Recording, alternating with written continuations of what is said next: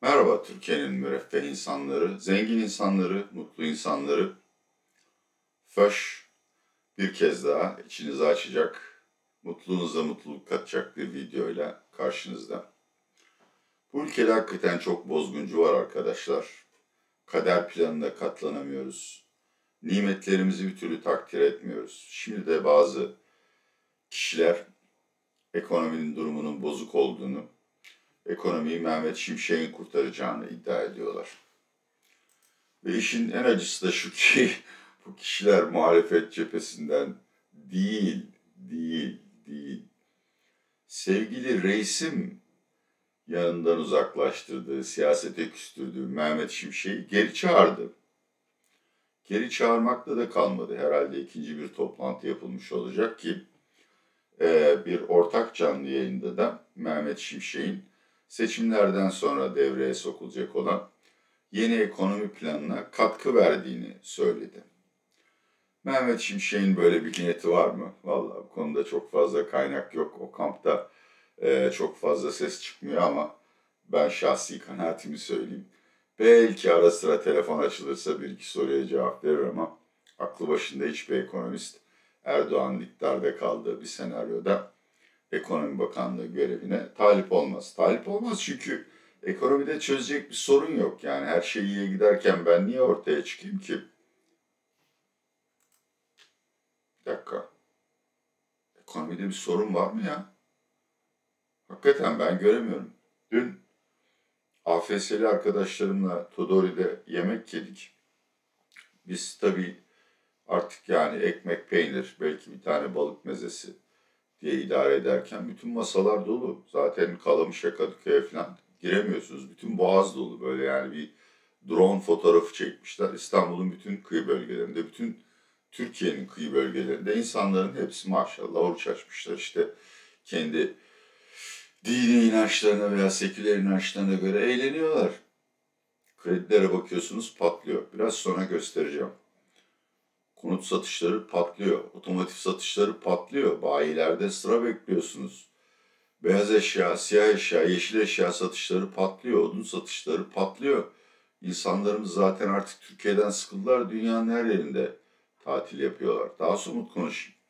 Bloomberg Nisan başı tüketici güven endeksi aylık bazda 8 puan yükseldi. Dayanıklı tüketim malları alma zamanı mı sorusuna pozitif cevap verenlerin oranı bir ayda yüzde on bir yükseldi. Evet arkadaşlar, herkes bedava kredi alıyor, istediği gibi harcıyor. Niye bu bozgunculuğu yapıyoruz?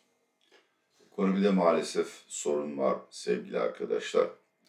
Önce birkaç kelimeyle bu sorunları anlatacağım. Bunların seçime kadar halların altına süpürülmesi gayet normaldir. Seçimden sonra çok acı bir bedel ödeyeceğiz.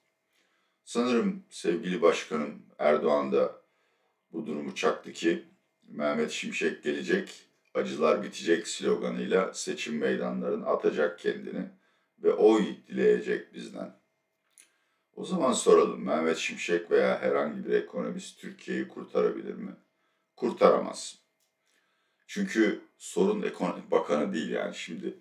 Ya Nebati abimden daha iyi ekonomi bakanı nereden bulacaksınız? Hele bugünlerde pek sahneye çıkmayan ama perde arkasından böyle Karagöz Hacivat oynatır gibi Türkiye ekonomisini bir orkestra şefi ustalığıyla idare eden Sayın Profesör Doktor Şahap Kavcıoğlu'ndan başka bir Merkez Bankası Başkanı ya bunların hani saçmalık bunlar, saçmalık bunlar. Bence Sayın Erdoğan yoruldu biraz.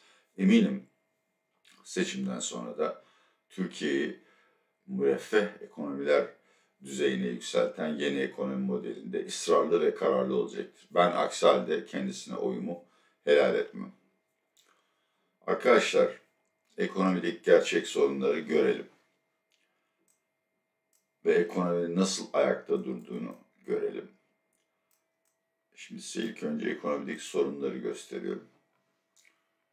Bakın bu TÜİK'in resmi enflasyonu. Biraz teknik olacak şimdi. Buradan geyikten teknolojike geçtik ama katlanacaksınız. Grafiğin en sağına bakarsanız hem mevsimsellikten aradılmış 3 aylık tüfenin hem de çekirdek tüfenin dip yaptığını, artık daha aşağı gitmediğini görüyorsunuz. Hatta dipten de bir yükseliş var. Yani TÜİK'in rakamlarına göre dahi enflasyondaki iyileşme durdu. Zaten hepsi baz etkisindendi. Belki de bir kısmı dolar TL kurunun suni olarak bastırılmasından kaynaklanıyordu. Devam edelim arkadaşlar. Size başka bir fotoğraf daha göstereceğim. Bunu sevgili üstadım eski Merkez Bankası Araştırma Müdürü, Genel Müdür Yardımcısı ve halen Bilkent'teki hocamız Hakan Kara'nın Twitter feedinden aldım. Hakikaten grafiklerle, çok basit anlatımlarla Türkiye ekonomisinin sorunlarını anlamak istiyorsanız lütfen Hakan Kara'yı takip alın. Enflasyonun ne olduğunu anlamaya çalışıyoruz. ENAG var, İTO var. Dün, iki gün önce zannederim, e, Tüketiciler Derneği'nin başındaki beyefendi, ismini hatırlayamadığım için özür diliyorum. E, aslında yıllık fiyat artışlarının %200'e vardığını söyledi. Hakan Kara da ilginç bir gösterge geliştirmiş. Yani KKTC Türkiye'de fiyatların az çok at başı gitmesi lazım. Ha belki orada e, peynir fiyatı, hellim fiyatı biraz daha ucuzdur ama onun dışında her şeyin Türkiye'den geldiğine göre fiyatların aynı olması lazım. Bir kalem seçmiş giyim ve ayakkabı fiyatları diye. Bu örnek başka girdiğinizde Twitter feedine başka örneklerden aynı sonucun alındığını göreceksiniz. İşte şu e, portakal rengindeki çizgi, çizgi giyim ve ayakkabı fiyatlarının 2013 yılından bu yana KKTC'de gösterdiği artış. Biz, bizde hemen hemen hiç artmamış gibi gözüküyor. Artık ne diyeyim ben de bilmiyorum sevgili arkadaşlar. Ee, tabii başka bir sorunumuz daha var. O da açık. Bunu onediyor.com sitesinden aldım. Kendilerine beni dava etmedikleri için teşekkür ediyorum. Biliyorsunuz her ay geçici ihracat rakamları açıklanıyor. İthalat rakamları pek açıklanmıyor ya da dipnot olarak belirtiliyor ve sevgili bakanımız, Ticaret Bakanımız Muş da ihracatın rekor kırmasıyla övünüyor. Gerçekten alttaki yeşil çizgiye baktığınızda ihracat rekor kırmış. İhracatta artışın yeniden başlaması güzel ama bir de ithalata bakın arkadaşlar. İkisi arasındaki çizgi Merkez Bankası rezervi, ikisi arasındaki alan Merkez Bankası rezervlerinde erimedir kardeşlerim. Neden herkes dolarda kriz var patlayacak diyor. Herhalde anlarsınız. Bence olmayacak ama boş bir korku da değil. Çünkü ikisi arasındaki makas, ithalatla ihracat arasındaki makas sürekli olarak açılıyor. Peki gerçekten insanlarımız ekonominin iyiye gittiğine inanıyor mu? Bu grafiği de Türkiye ekonomi raporu Mart e, raporundan, nihai raporundan aldım vatandaşlara sormuşlar ekonominin durumu nasıl diye. %69 çok kötü demiş. %17 ne iyi ne kötü demiş. %14 daha iyi gidiyor demiş. Sevgili arkadaşlar bu e, daha iyi gidiyor diyenlerin hepsi değil ama AKP seçmeninin neredeyse %45'i ve MHP seçmeninin de %30 zannederim. Ama önemli bir bölümü ekonominin iyiye gittiğini düşünüyor. Vallahi Onlara mutlu azınlık falan diyemiyorum. Yani Allah reisten razı olsun hiç olmazsa o insanların acısını biraz gidermiş. Ama halkın %69'u hala işlerin kötüye gittiğini düşünüyor. Başka grafikler de vardı. İşler kötüye gidiyor. Daha iyiye gidecek diyenlerin oranı da %25'in altında. Açıkçası ekonomide ciddi sorunlar var arkadaşlar. Şöyle özetleyebilirim durumu. Yeni ekonomi modeli ekonominin taşıyıcı kolonlarını kesti. Bilardo salonu, düğün salonu yaptı. İlk depremde yıkılacak hale geldi bina ve arkasından deprem geldi. Depremin zararı resmi kaynaklara göre bizim sevgili Cumhurbaşkanlığımızın strateji ofisine göre milli gelirin %11'ine denk geliyor. 3 milyondan fazla insan göç etmiş. Takriben 1,5 milyon iş gücü azalmış sanayi kapasitesinin tarımın önemli bölümü hasar görmüş. Bu ülkede zaten kronik bir tasarruf açığı var. Milli geliri yüzde on birine denk gelen bir servet kaybını hangi kaynakları bularak kapatacaksınız? Kapatamayacaksınız tabii ki. Enflasyon üreteceksiniz. Üçüncüsü de ve en önemlisi de arkadaşlar çok pahalı bir seçim yaşıyoruz. Tarihin en pahalı seçimini yaşıyoruz. Evet eller emekli ediliyor. Bunun yanında belki 5 milyon esnafa da Bağkur SSK prim günleri farklı olduğu için bir mağduriyet yaratılmış. o mağduriyet Bağkur emeklileri lehine veyahut da Bağkur mensupları lehine düzelecek. 5 milyon daha emeklimiz olacak.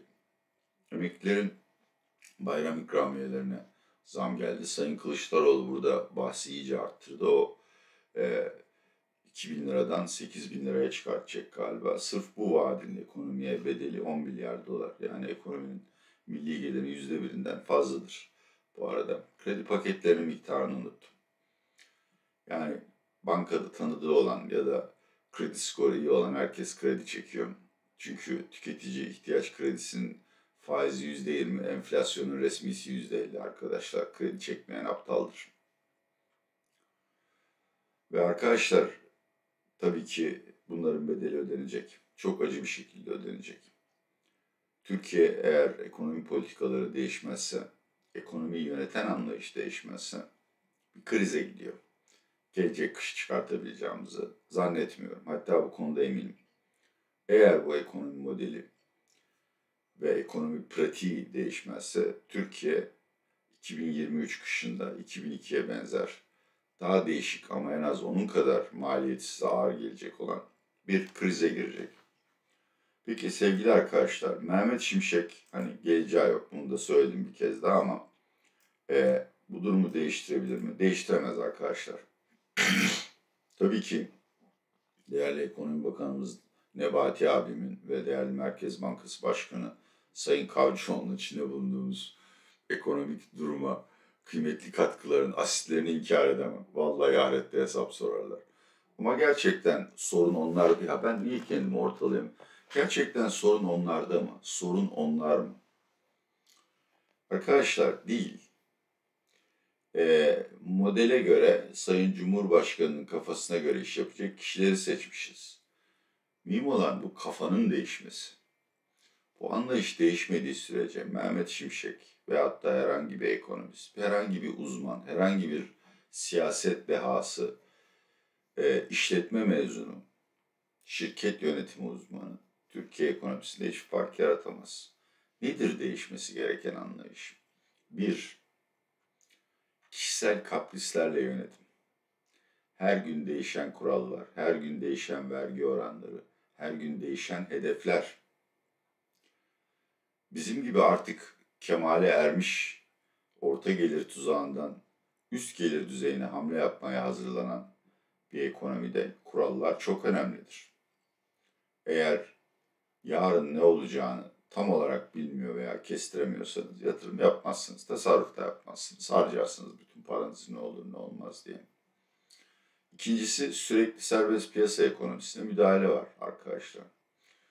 Tabii ki herkes benim gibi kapitalist ve serbest piyasa ekonomisi taraftarı olmak zorunda değil. Kumanda ekonomisi de olur. Ama mesele şu. Kumanda ekonomisi olsun, serbest piyasa ekonomisi olsun. Devlet müdahale edecekse bunun çok açık ve millet menfaatine olan nedenleri olmalı. Bizde öyle değil. Bizde bütün müdahaleler rant odaklı. Yani reis AKP tarikatlara daha fazla cukka çıkartmak için yapılıyor ve seçim odaklı. Şu anda ekonomideki eksikleri, yanlışları, hileleri, hurdaları düzeltmek için ekonomiye ciddi baskı uygulamıyoruz. Seçim kazanmak için uyguluyoruz. Ve daha da acısı arkadaşlar, AKP her zaman bir toprak rantı partisiydi. Bu da bir eleştiri değil aslında.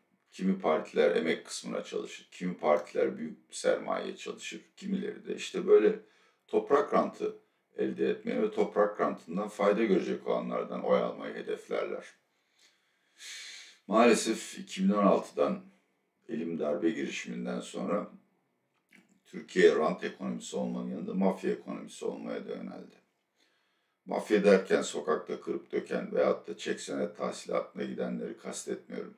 Mala çökmeden bahsediyorum arkadaşlar. Mala çökmeden.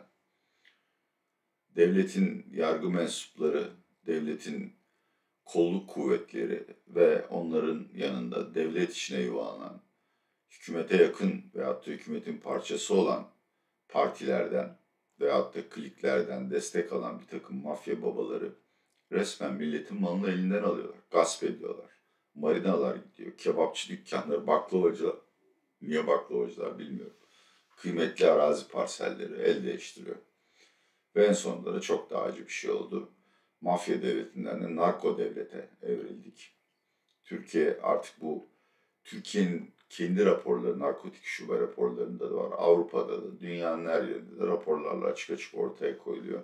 Biz uyuşturucu trafiğinin deposuyuz, lojistik merkeziyiz. Ee, Orta Doğu, Avrupa'ya mal buradan gidiyor. Daha geçen gün Latin Amerika'da bir yerde, ülkeyi hatırlamıyorum, seramik parçalar içine saklanmış 2,5 ton kokain ele geçirildi arkadaşlar.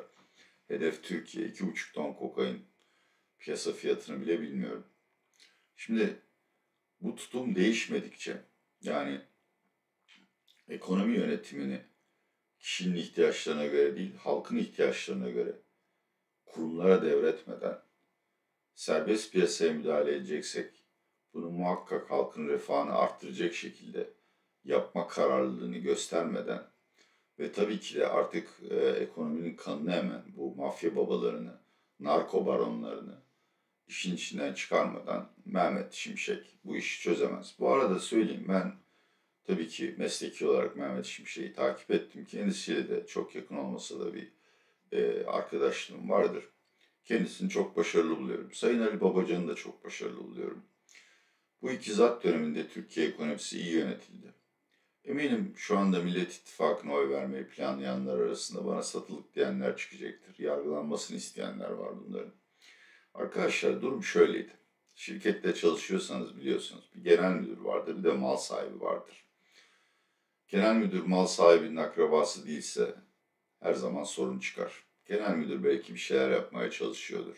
Sizi daha iyi rahat yaşatmaya, şirketin verimliliğini, karlılığını arttırmaya çalışıyordur ama veto hakkı hep mal sahibindedir. İşte Ali Babacan ve Mehmet Şimşek de o genel müdür pozisyonundaydı. Yaptıklarının çoğunun yanlış olduğunu düşünmüyorum ama bir yerde nihai karar veren mal sahibiydi ve mal sahibi ranta çalışıyor. İşin gerçeği budur sevgili arkadaşlar. Mehmet Şimşek gelmez. Bundan yüzde yüz eminim.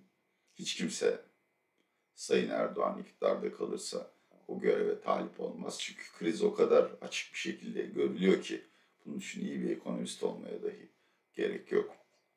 Ve seçimi kim kazanırsa kazansın bir bedel ödeyeceğiz. Bunlara hiç şüpheniz olmasın. Hem bu pahalı seçimin bedelini ödeyeceğiz. Hem de deprem acılarını gidermenin bedelini toplum olarak ödeyeceğiz. Mühim olan bu bedeli nasıl ödeyeceğiz ve kime ödettireceğiz?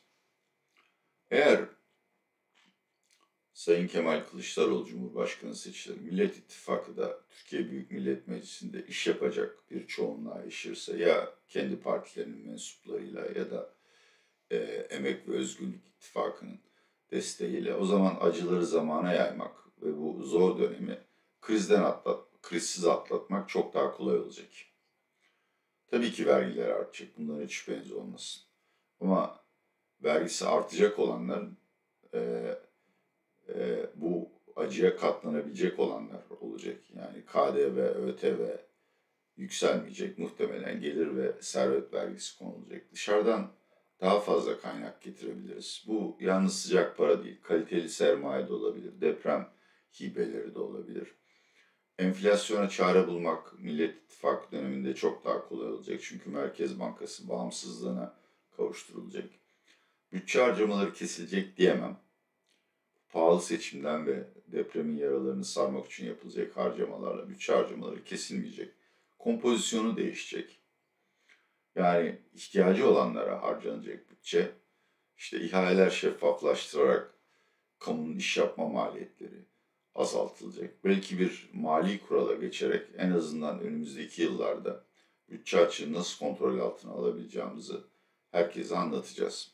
Ve bankalara stres testi yaparak gerçekten ne kadar karlı olduklarını, Türkiye'nin ihtiyacı olan kredileri verip veremeyeceklerini anlayacağız. Eğer gerekmiyorsa devlet kamu bankalarını yeniden sermayelendirecek.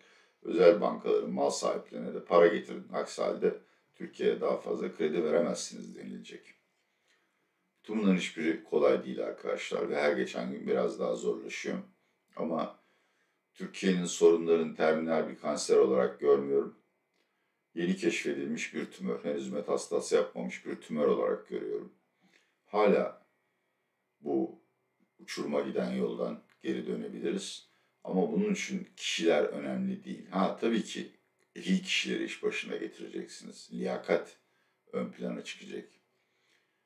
Diyanet e, mensubu olmak veyahut da İmam Hatip Lisesi'ni bitirmek değil. Ama her şeyden önce Türkiye'yi yönetenlerin yeni bir anlayışa geçmesi lazım. O da hak, hukuk, adalet sözleriyle özetlenebilir. Hepinize bu uzun videoyu seyrettiğiniz için teşekkür ediyorum. Maalesef biraz pazarlama yapmak zorundayım. Pandemi çağında ekonomi, pandemi döneminde ekonomiye bakışımız nasıl değişti? Kısa ve teknik olmayan makalelerle size anlatır. Biraz pahalı yani 10 bin lira 20 bin lira falan kitap galiba. Ama 100 tane bastık basabildik sadece gücümüz o kadar net. Paralı yayınlarında Ahmet abiyle benim. Yani bu koleksiyon, koleksiyon değeri var. Hele yarın öbür gün hakka yürürsem e, fiyatı en az 10 misli artar. Yani çekin 100 bin lira, 200 bin lira kredi alın bir tane. Yani böyle baba, ihtiyar babanıza bir kıyak yapın. En son olarak da Halka Açık kanalım için çektiğim bir video izlediniz. Ben de herkes gibi artık YouTube bize para vermediği için bir katıl programı geliştirdim. Ayda belli miktarda bağışta bulunuyorsunuz. Çok ufak 5 lira 10 lira bir şey doğru hatırlıyorsam ya da 1005 lira inanın artık bilmiyorum. Ve orada da düzenli videolar çekiyorum. Hatta bu videoyu bitirdikten sonra bir tane de e, katıl kanalı için çekeceğim. Eğer ekonomiyle ilgili daha detaylı bilgiler almak istiyorsanız, dünya ekonomisi, finans sistemi neler olup bitiyor öğrenmek istiyorsanız katıl kanalına da bir göz atabilirsiniz. Hepinize sağlık ve huzur diliyorum.